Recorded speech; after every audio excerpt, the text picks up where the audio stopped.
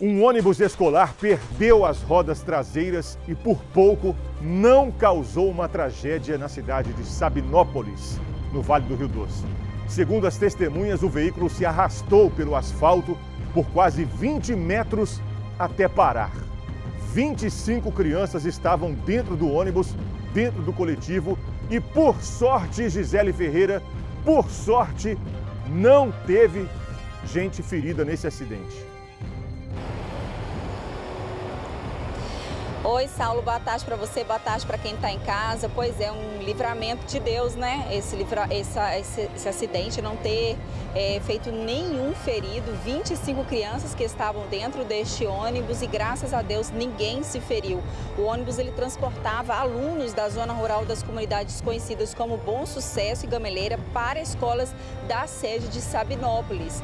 E, e de acordo com as testemunhas, neste trajeto, as duas rodas traseiras do do, veículo se soltaram e o veículo se arrastou por cerca de 20 metros até parar. E aí ninguém se feriu, graças a Deus, né?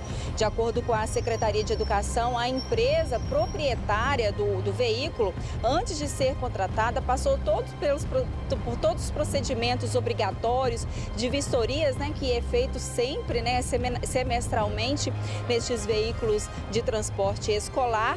E a, a Secretaria também informou que vai, que imediatamente assim que soube, tomou todas as providências providências cabíveis no sentido de socorrer as vítimas, de dar apoio aos estudantes e às famílias também dos estudantes. Em nota, a empresa do ônibus escolar informou que o acidente foi um fato isolado e garantiu que as manutenções são rotineiras. Acrescentou também na nota, Saulo, que realizou a vistoria nos veículos há menos de 60 dias, que quando a gente é, há 60 dias dá mais ou menos aí o início do ano letivo, que é o que eu falei, né?